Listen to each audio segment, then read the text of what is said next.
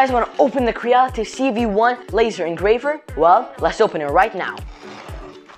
Whoa, you guys should definitely see this.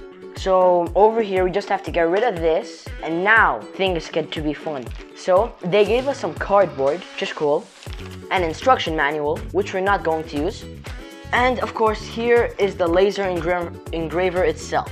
So basically, it's going to turn out like this.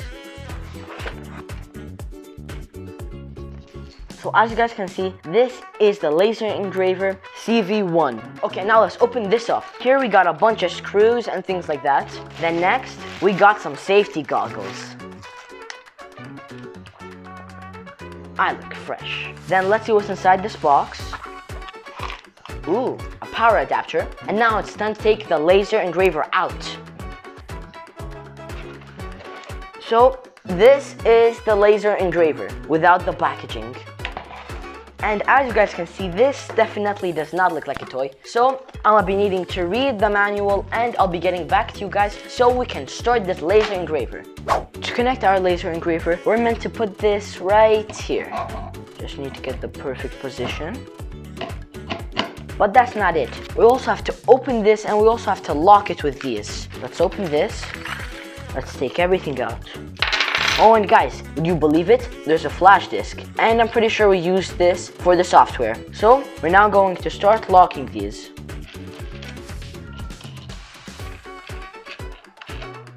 Guys, here we have the stepper motor for the x-axis, and here we have the stepper motor for the y-axis. And then, do you guys see these little two wires?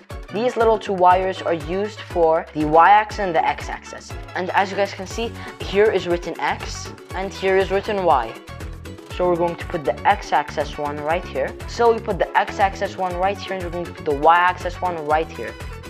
So now we connected the stepper motors for both y-axis and x-axis. Guys, the assembly process of this laser engraver was an absolute piece of cake. And guys, look what we engraved. We engraved sugar cane and we also made this emblem for the Volkswagen. And just look at how much materials we can use. We can use paper, we can also use different types of paper. And we also have many different colors. Oh, and we also get to use wood.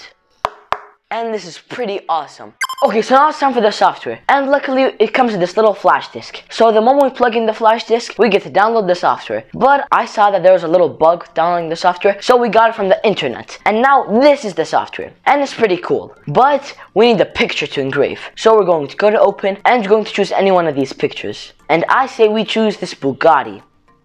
And there are three different versions of this Bugatti we can use. We can either use outline, grayscale, or black and white. Personally, I enjoy the black and white. And if you guys see over here, we can even change its size. So rather from 170, we can make it 25.